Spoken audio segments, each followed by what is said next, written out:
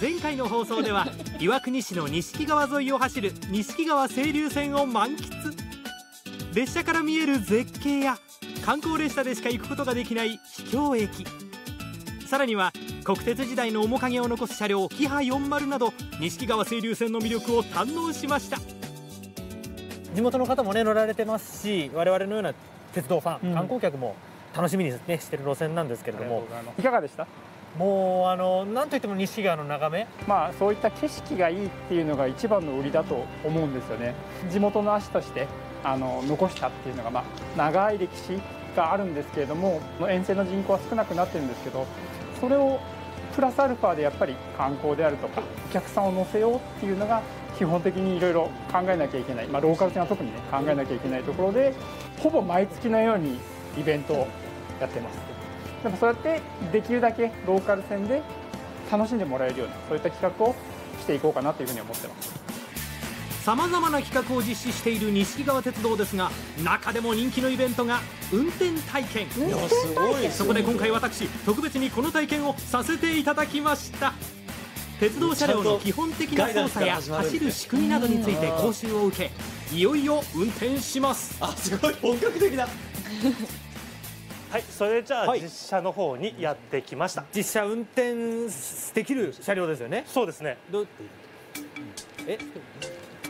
あれをやってもらいましょう。え杉原さんだって日だまり号って、はい、え通常に営業運転してる車両じゃないですか。そうですね。いいな。この車両運転できるんですか？そうですこれです。え？えー、西川鉄道運転体験やろう思っても、使う車両ないですもんこれ以外誰でも参加できる運転体験のイベントになんと現役で走っている車両を。現実的な理由はあるかもしれませんけどたまりません貴重な体験はなかなかできませんよね誰も乗っていない車両に乗り込み運転席に座ります。今回は特別体験ということで停止位置までのおよそ30メートルを運転操作は簡単に説明すると向かって左のレバーがアクセル右のレバーがブレーキの役割をします。今から私このこの列車を動かします。はい。はい。はい、はい、じゃあ、えー、韓国から戸締め往来、岩津往来。戸締め往来岩津往来前方往来。はい、じゃあ発車でブレーキ緩めてはい。緩めまで戻して一気にいっていいですか？はい、行きますはい、でノッチ1ノッチ投入。はい。はい、発車発車おお、はい、で運転表示とついた天往来はい。天往来もうこのままちょっと行こうか、はい、1ノッチでおお動かしてる。2ノッチか。2ノッチはい、はい、2ノッチ入りました。で6キロでオフ。はい。56はい。はい。あもう使って。一二。はい。はい。えすごい。こんな感じ。最初だけまあちょっと。はい。ちょっと急ブレーキ気味で。すみません。おはいと正直何が何やらといううちに1回目は終わってしまったなと。この列車を動かしたんだなと思うと。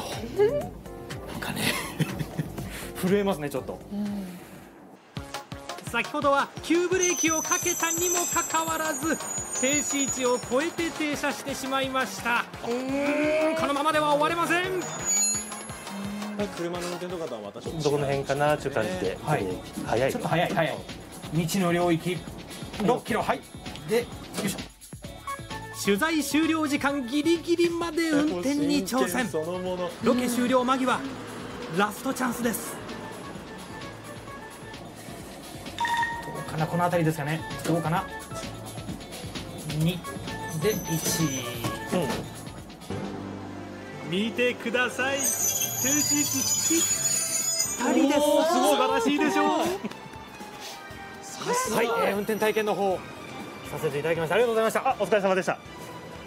えー、ご指導いただきましたけども、ええ、どどんな感じでしたでしょうか僕の運転は。最後の最後でねだいぶ良くなったかとね あの実際でもどうでした？いやあのー、想像していたよりも加速がかなりスムーズでスピードが上がるとあっと思って焦ってブレーキを入れてしまうんですけどまたブレーキの効きもしっかり効くので焦って入れすぎると急停車してしまうっていうそこの難しさありましたね、えー、まあその辺がな面白さなんでしょうけどね。お持ち帰りください。ありがとうございます。もうすごい。運転体験を終えると記念写真と終了証書がもらえます。これはいい思い出になりますね。またあの2回3回4回5回と回数を重ねていくと、はい次には今度あの見習い運転士それから運転士、指導運転士とこの症状にもつきますんでねぜひねありがとうございます、はい。ちなみに見習い運転手になれるのは5回目からですか？いやこの次です。あなるほど。2回目。1回目を終えた現段階だとまだペーペー。ペーペーでございます